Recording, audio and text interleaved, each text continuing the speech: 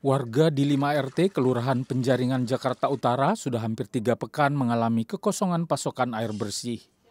Kondisi ini memaksa warga harus mengeluarkan biaya tambahan untuk membeli air bersih dari pedagang air keliling atau air galon untuk keperluan air minum. Sementara pasokan air bersih dari PT Pampal Jaya belum layak konsumsi. Meski hari ini sudah mulai jernih, air yang keluar dari pipa Pampal Jaya masih berbau sehingga warga tidak berani menggunakan untuk mencuci, apalagi untuk memasak dan untuk diminum.